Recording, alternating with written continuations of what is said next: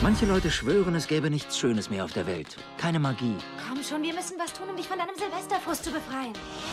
Wieso kommt dann die ganze Welt in dieser einen Nacht zusammen? Es ist Silvester, Bro. Lass uns ein Fass aufmachen. Um die Hoffnung für ein neues Jahr zu feiern. Meine Vorsätze fürs neue Jahr. Wenn du sie bis Mitternacht erfüllen kannst, bekommst du die hier. Vier Karten für die Party? Du hast den richtigen gerufen. Ist das dein Silvesteroutfit? Das mache ich mir nur für schlechte Zeiten. Du solltest es heute Abend anziehen. Silvester ist die schlimmste Nacht zum Weggehen. Leute, die das ganze Jahr nicht trinken oder feiern, machen dann alle einen auf Gangster-Rapper. Letztes Jahr habe ich eine kennengelernt und sie war außergewöhnlich. Das erste Baby, das im neuen Jahr in diesem Krankenhaus geboren wird, gewinnt 25 Riesen. Die Wette gilt. Aber hallo! Und wie sie gilt. Komm, Schatz, keiner gewinnt, wenn Schwangere loslegen.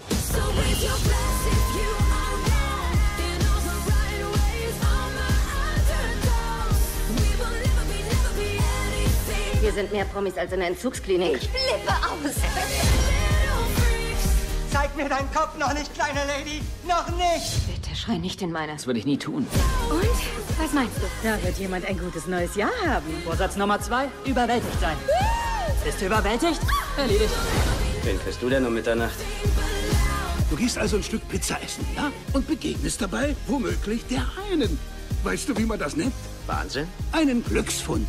Und damit scherzt man nicht. Darum geht es an Silvester. Ist jetzt schon Neujahr?